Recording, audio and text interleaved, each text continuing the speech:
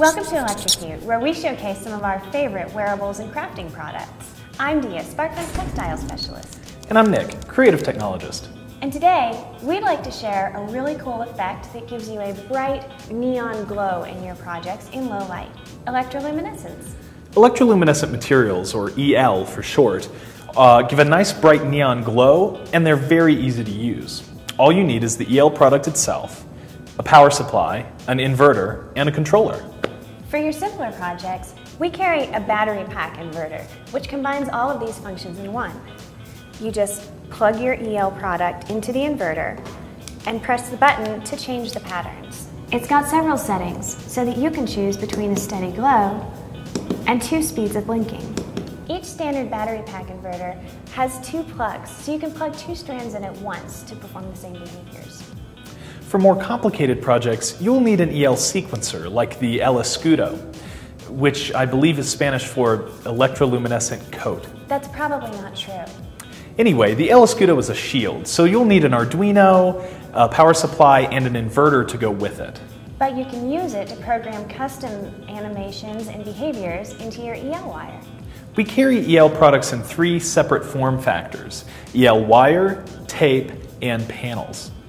Tape replicates bright striped effects, like you saw in Tron.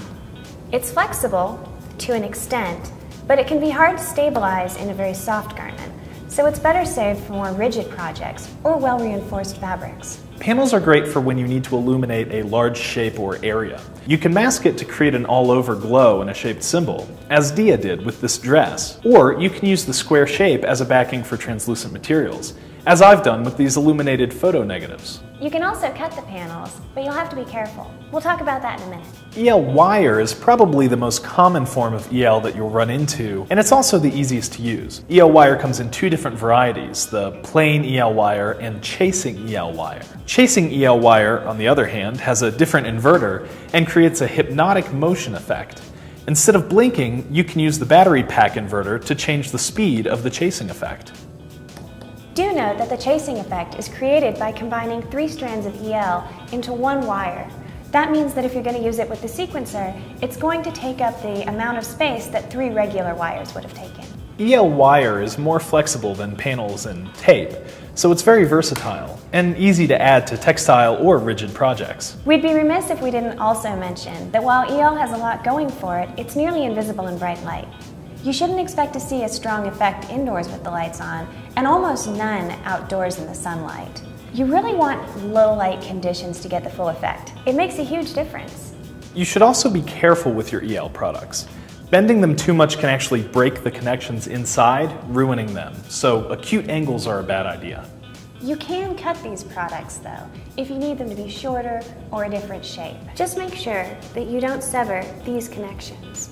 Also make sure that you reclose that edge, or just seal the tip in the case of EL wire or tape.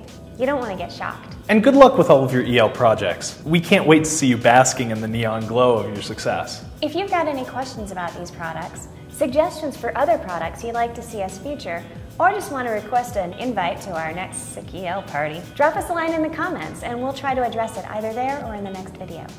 Thanks for watching.